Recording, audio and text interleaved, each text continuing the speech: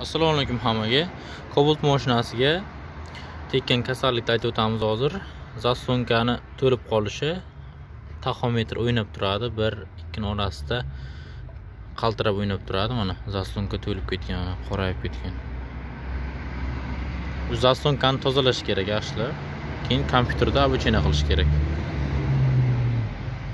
Qorayib ketgan hamma tomoni.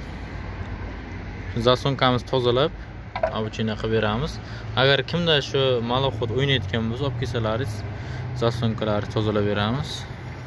Yaxshilab hech qanaqa muammosiz ishlaydi mana. Qop qora bo'yotibdi tozalab beramiz. Buni tozalab berib обучение qilib berish hamma narsalar kompyuterlar ichida sakson ming so'm o'qib beryapmiz. Kimga shunaqa xizmatlar kerak bo'layotgan bo'lsa bemalol kelib qildirib kelsalaringiz bo'ladi. Videoni tanishtirib tarqatib qo'yamiz. Agarda shunaqa muammolar bo'layotgan bo'lsa qilib beramiz. Adresimiz termiz shahri ikkinchi litsey to'g'risida zelyoniyni oldiga. E'tibor uchun hammaga rahmat.